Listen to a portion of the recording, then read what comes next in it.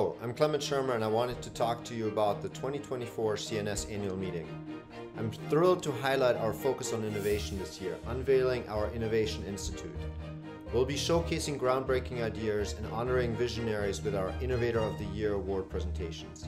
The CNS annual meeting is where innovation comes to life in our field, and it is always so inspiring to see the creativity and ingenuity of our colleagues.